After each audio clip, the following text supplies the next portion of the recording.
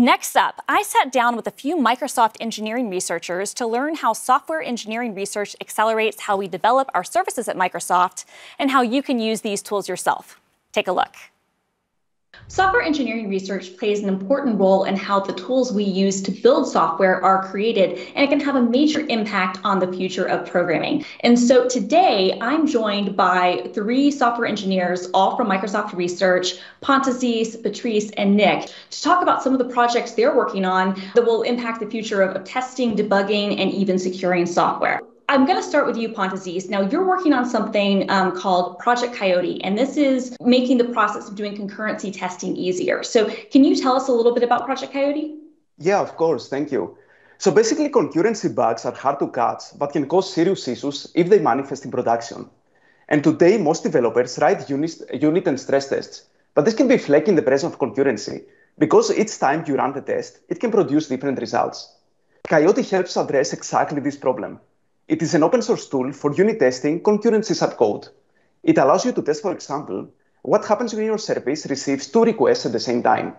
And now the cool thing is that Coyote takes full control of your program's concurrent execution and can run the test again and again, providing very high coverage of concurrent behaviors that you could not otherwise get. Coyote can also fully reproduce any bug that it finds. Today, several teams in Azure are using Coyote for testing their services. They have reported higher coding velocity and much fewer bugs in production.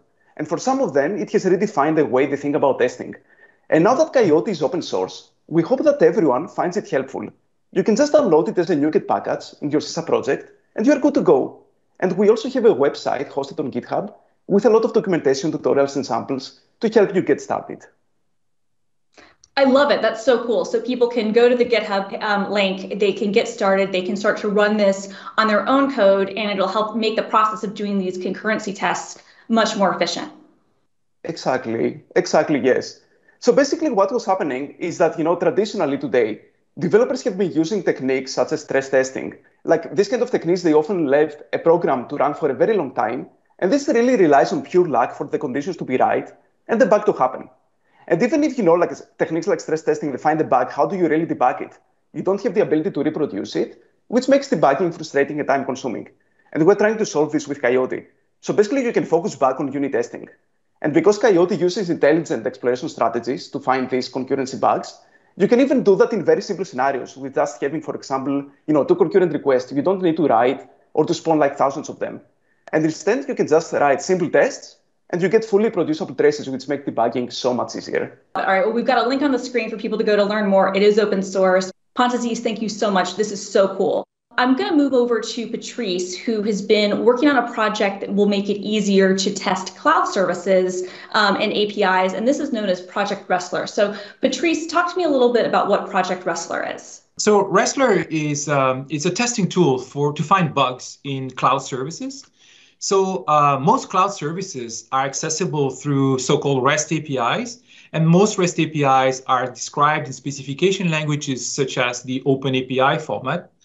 And so RESTler is a tool that takes as input a REST API specification in the OpenAPI format, and then it automatically generates and executes tests from that specification in order to find bugs in the cloud services behind that API.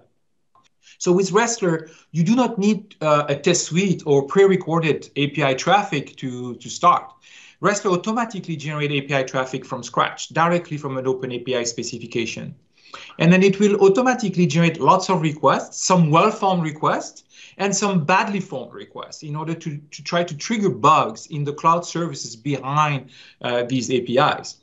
That's what fuzzing means. It means to take well-formed requests and slightly modifying them with noise in order to see if the service under test can uh, handle these errors. So, uh, and with uh, RESTler, we found hundreds of bugs in uh, uh, Microsoft Cloud Services and in open source services. And when we were talking earlier, you told me RESTler's been used internally at Microsoft for quite some time, but you open sourced it six months ago. What can you tell me um, about the feedback that you've received since it went open source? Yes, the, the, the feedback has been has been uh, great. There's a lot of uh, interest out there. So just to give you an idea, so we started the, the project RESTler about four years ago inside Microsoft Research. And about two years ago, we had a, a workable prototype that we started to deploy inside Microsoft. And we, we, we found lots of bugs. It was very successful. And then we published some research papers. And then we we decided to open sources because we had lots of requests from outside microsoft asking us oh that's great but could we have access to this tool? Because we are developing our own uh, cloud services outside microsoft uh, on top of azure etc and it would be great if we could have access to that tool. And so that's why we decided to open source uh, RESTler about six months ago. So it's available on github. And uh, i invite uh, everyone to uh, give it a try We've got links um, on the screen for people to go check that out, but you should definitely check this out, especially if you're using something that uses the Open API standard and you're using Azure services. Okay, so we're talking about testing, but sometimes you know the service area of a large code base can make that frankly impossible to find all the bugs. So what if we could guarantee that the code that we write is what it says it is? And this is the basic idea, I think, uh, behind Project Everest. And so I'm going over to Nick now to talk to us about Project Everest and what it means. How are you, Nick? Uh, great, Christina. Yeah, you got it right. Um, uh, thanks, uh, thanks for these questions. Uh, the so so while testing software is really important, there are scenarios where you want higher assurance than what testing can give you.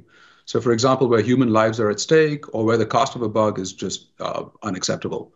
So, in Project Everest, what we've been looking at is how to prove mathematically that software is bug free by construction. Now, uh, you may have heard about software verification before, and it's always been thought of as being a bit futuristic. But we've made a lot of progress, and, and now in, in several domains, ranging from things like cryptographic protocols to virtualization components that are used uh, to secure the Azure platform, we can actually, and we are, deploying code that is formally proven to be correct and secure. So when you're actually writing the code, you're getting that assurance that this is secure, it is what it says it is, or when you're receiving, I guess, a piece of information that it is what it says that it is. Is that correct? That's right. Yeah. So so we have a new programming language that called F star that supports something that we call proof-oriented programming. So it allows you to write a program together with a proof that the program does what you intend for it to do. Um, so, um, and that proof is mathematically checked uh, as it's a theorem about your code. So, for instance, in Hyper-V, uh, in its net, net network virtualization components, we're using a tool called Everparse built on top of, Ev of FStar. And Everparse is a code generator that produces uh, formally proven parsers for binary formats from a, a, class of binary formats where you can specify these formats declaratively and Everparse will generate proven code for you. And what we've been doing is taking the, the code that Everparse produces and integrating it with the network virtualization components to ensure that every network packet that passes through the system is first validated by this uh, piece of uh, formally proven code to ensure, for instance, that a whole class of bugs due to improper input validation are just ruled out by construction. We've got a link where people can get more information about this. This is so cool. I could talk to all three of you about the research you're doing uh, for hours, frankly. I would love to sometime. So, uh, Nick, uh, Patrice, Pantazis, thank you so much for joining me. And all three of you have also been participating in a video series that Microsoft Research is doing called Tech Minutes. And we actually have a little bit of a sneak peek. So, check this out. We have to actually rethink the entire AI stack. What is reinforcement learning? Let's look at an interactive demo. All our code is now open source.